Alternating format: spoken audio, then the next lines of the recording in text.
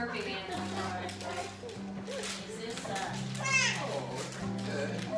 Yeah. Yes.